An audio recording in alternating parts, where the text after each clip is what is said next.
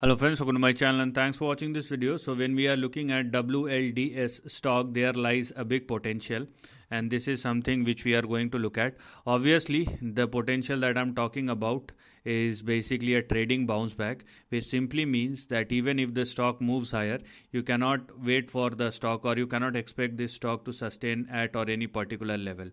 But before talking anything about the upside, let us first understand the current price move where we have our uh, two big or the two most important levels which are 0.51 as our support and 0.40 on the downside as far as the stop loss is concerned. So number one please do not go below these two specific levels as far as the lower end of the range is concerned.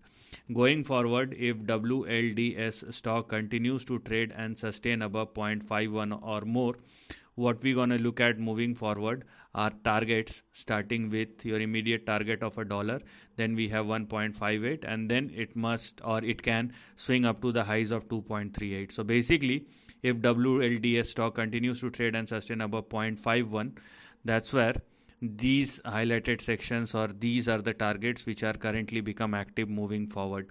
And as i told you these are all trading up moves. You cannot expect the stock to sustain at on any particular level even if the stock moves higher.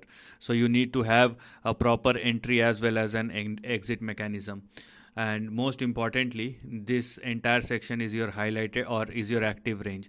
So try not to go beyond the range either on the upside most specifically on the downside. Otherwise a downside will resume once again. Right now if WLDS continues to trade and sustain above 0.51 so what is active on the upside is a dollar. Only after a dollar you can go for 1.58 and 2.38 on the upside. So this is the end of the video. Thanks for watching